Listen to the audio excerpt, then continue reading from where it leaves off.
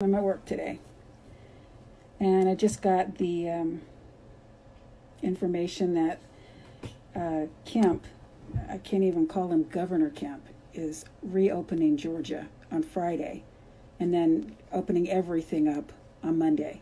Um, I'm so upset that I'm not going to take my mask off. I mean, I don't even want you to see the cuss words that are coming, that could be coming out of my mouth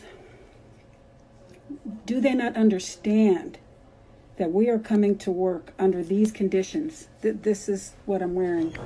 I just had to re- reclaim this. This is my new, my new.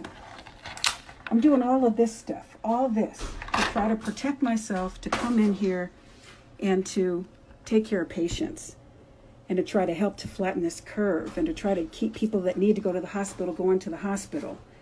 I mean, we're risking our lives every freaking single day and they're reopening reopening Georgia on Friday in 4 days. Why not just open it today